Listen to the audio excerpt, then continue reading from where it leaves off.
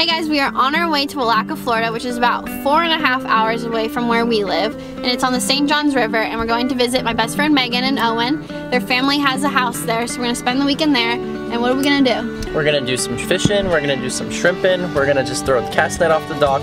It's gonna be a good time. They catch a bunch of shrimp, they catch uh, catfish, redfish, all sorts of stuff off the dock. It's just gonna be a good time with one of our best friend couples.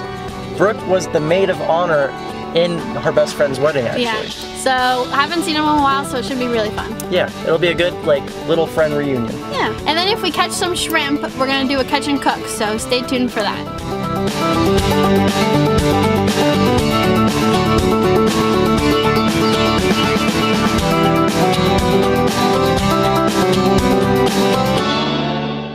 Okay, now what you're gonna do is the hand with all this stuff in it. That's the hand that you're spinning and throwing out. And then the hand with this one in it, that hand, you let go very last. Okay. Okay? So ready? Let's see, Meg. Nice! There you go. Perfectly, see? Yeah. Alright, so guys, why are we having cast netting lessons out here? we are going shrimping. Catching shrimp, it's that Shrimp Rum 2K17. Where are we at? St. John's River in Welaka, Florida. Oh yeah, let's see what you got, Meg. Did you let it sink to the bottom? Um, I don't know. I thought I did. Yeah, you gotta let it sink to the bottom. I don't know if you let it sink to the bottom. Oh no. Alright, that was your practice run. Alright, Alright. we got Vic, shrimp. how about over here? What you We're got? loaded down with shrimp. Okay, Oh my god. we got Oh my gosh. so many shrimp. There we go. Wait, That's a it's big big ones, too. Look at these things. Gotta get them before they jump away. At least you still got some in your net. I don't think we should keep these. Keep 'em. Nice. Just one throw, that was so many. Okay, check this out. In one throw, we got a blue crab, we got shad, we got shrimp. There's just so much life here. This is insane. shrimp. A little blue crab. Let this guy go. He's too small.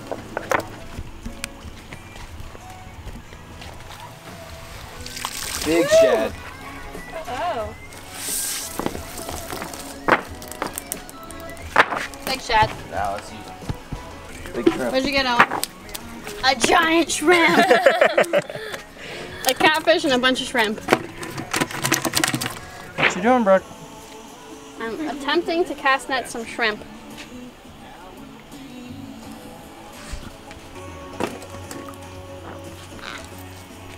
Nice one. That's a good throw. Hopefully we get some shrimp. I bet you got 30. Oh, I don't think that many. I didn't even get any. You did. You What got the some. heck? I got you got some. See? You got one shrimp. One shrimp. You got a river shrimp. Viktor throws it, catches 30. I throw it, catch one. Alright, hopefully I get more this time. You ready? Everyone's ready. Are you all ready? The world is watching, Brook. Let it sink all the way. Not a perfect pancake, but definitely shrimp worthy. Shad. What you get? Baby ladyfish. Oh, you did get a ladyfish and a shad, and you And got some one shrimp. There's a ladyfish. You got two shrimp. Nice. You got a, a big one and a small one. Where'd the ladyfish go? Oh, it's All me fish and Meg can and catch is fish. We kind of I- need I species. One shrimper. Look at all the shrimp that Viktor just caught. Too good. Cut these two me- measly little guys. Hey, they look like Just dinner kidding. to me. Gotta throw these guys back. Yeah, you do. That's not a baby. You probably should put those on. Oh, you got a oh, stingray. Stingray. Yeah, you got a stingray. So here, we got a southern stingray. The only thing you got to worry about on this guy is that barb right there. But you get yourself a pair of pliers or something. Hold his tail. No need to. No need to take the barb off if you're not going to keep him. And there we go. Adios. All right, Meg, let's see. Nice. All the way down. We're gonna have a new record this time.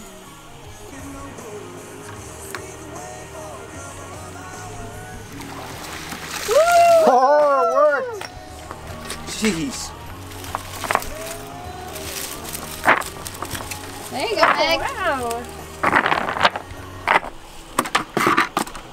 How many? It's My new record. A lot. Looks like a new record, Meg. Good job. What are there? Two, four, six, eight, ten. It's very hard. It doesn't want to sit in your hand. We just caught this baby flounder. Look how small it is. Oh my god. No, let him go. Are we gonna eat this? Eat what? Is he too small? Ah! he got me. It's too small. Yeah. Oh, he's gonna go by himself. Go, go, go, Alright, I'm go. throwing the secret net.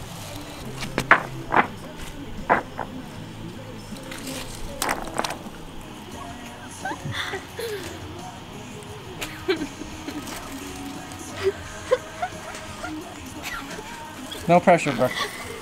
Nice! Now, what do we do? What's the catchphrase? Let it lay and watch it pay. Mitchell Brown, if you're watching. What did you catch me? Oh, my oh, god, I got so many. You got so many shad and catfish. I got a lot of shrimp too, though. Yep. Are you filming this? Yeah, you did good, Brook. That was a good throw. Look at all that. You just Oh cleaned my up. god. Look at all these shrimp. Shrimp. That was a good throw. shad, shrimp, Wait, you shad. got two catfish. Oh, you did? Yeah, there's one here and one there. Oh yeah, Brook got two catfish in the cast net. There's one. Here's this one out. I'm gonna throw this one in. Mm-hmm. One throw. Look how many shrimp we just caught. And a bunch of shad. We're gonna let these guys go. We're using some of them for bait, but the ones we aren't, we're just letting back go. I'm gonna throw this catfish back in.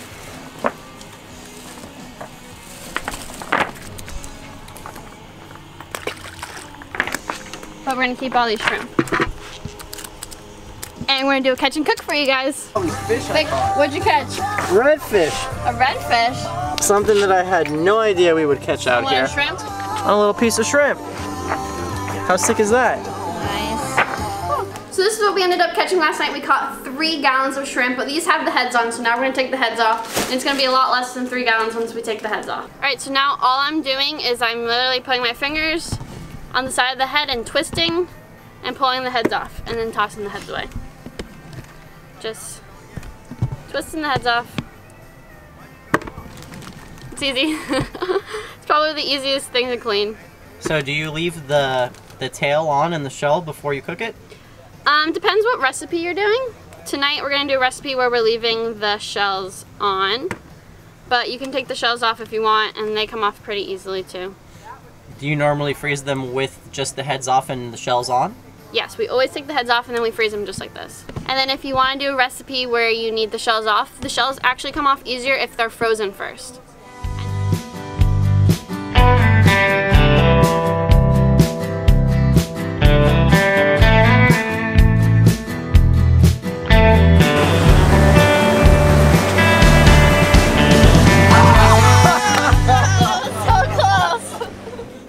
Back to the kitchen. So I'm with my best friend Megan, and she's gonna explain to you guys what we're cooking up tonight. Tonight we are making a low country boil with shrimp. I live in Savannah, Georgia, and this is a classic dish of Savannah that we've never made at home. We've had at a lot of really good restaurants up there, so tonight we're gonna make it at home with the fresh shrimp we just caught last night. So we got some shrimp. We're gonna throw in some sausage, some red potatoes, corn, and we're gonna keep it real simple. And the only ingredient we're using is Old Bay. And then Megan's making her famous cornbread. Which is Classic. Jiffy in a box. So the way to make a low country boil is you want to take a big old pot of water and all it's going to have in it is water and Old Bay seasoning. Bring that to a boil, chop up your red potatoes into quarters and you're going to boil your potatoes and your sausage links cut up into quarters as well for 10 minutes. After that, After that's cooked, then we're gonna throw in the corn, which we're cutting up into halves. And then once that's all cooked, the last thing we're adding in is our shrimp, because that's gonna take the least amount of time. So the shrimp don't need very long. Once they turn pink, they're done. So probably not even five minutes for the shrimp. And then after that, we're gonna pour it all on the table and enjoy. and in classic low country boil fashion, just spread it over the whole table and no serving platters or anything. Everyone just picks at it with their hands, peels the shrimp, eats it right there. We're gonna put a ton of Old Bay seasoning all over the top of it. So let's get to cooking.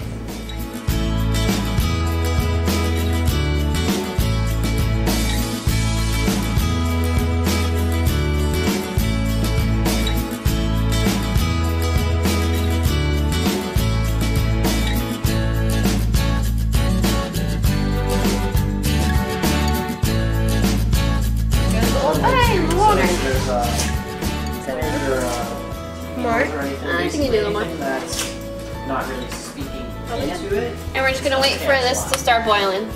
Are you ready? Are you excited for a low country boil? I needed more time. Daddy, yes? Glass, I had to throw the, uh, How about you? Are you excited? Oh, that's definitely a yes.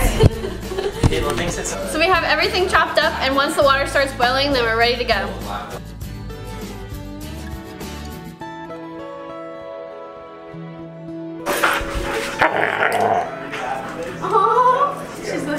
We're gonna start putting the potatoes in the water.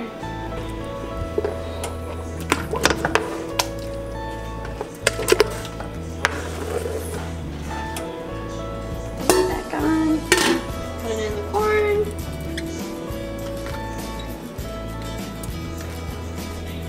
And the sausages.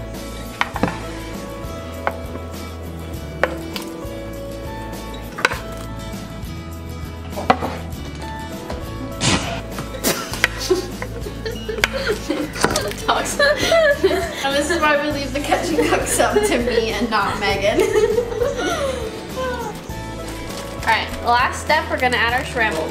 And then we're gonna let these cook for just a short, probably tops five minutes. But yeah, probably maybe three minutes. Look at them cook already, look at that, you see that? This is the pink we're looking for. And they've only been in for like 30 seconds. Okay, so our shrimp are definitely done. They're nice and white and pink on the outside. So we're gonna strain it and then we're ready to chow down.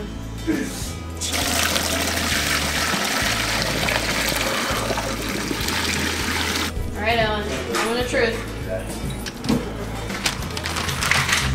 Oh yeah.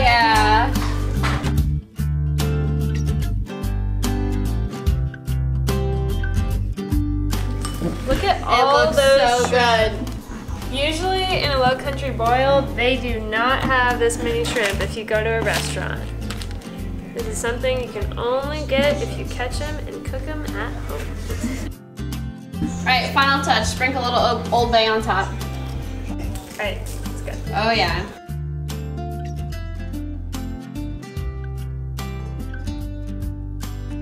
Meg, what do you think? They're really good. It's a really good dinner. Lots of shrimp, definitely fun. Owen? Goes down great with my friend Sam Adams. Kevin? it's good. So one thing I noticed about these shrimp as opposed to like the saltwater shrimp that we have in South Florida is these guys are really have an earthy feel to them. They're not as uh, crispy. They're, the texture is a little bit different. They're not any better or worse. They just have their own completely different taste, but they're really good. I really enjoy them. Our low country boil ended up turning out really good. It's a fun thing to do with a group of friends and it's also really easy. I thought the shrimp tasted different from like the shrimp that we get down by us, which I guess are saltwater shrimp compared to these were freshwater shrimp. And we also catch them completely differently. Down by us, we're using lights and we use nets, and you can see them and you just scoop them off the surface. But with these, you're throwing the cast net blindly and you never know what you're gonna get. We caught catfish, we caught shad, we caught baby flounders, and we caught a bunch of other things. Now it goes to show you how many shrimp there are. We threw the cast net in the same spot all night long, and not one time did we pull it up and not catch a shrimp. And most of the time, we were catching like 12, 15 shrimp. It was amazing. I had no idea we were gonna catch that many shrimp. It was completely unexpected, but it was really fun. I would definitely go back and do it again. If you guys like the video, like the video, don't forget to subscribe, and I'll see you in the next one. This guy, I'm gonna let go. Live another day. It's your lucky day, little dude.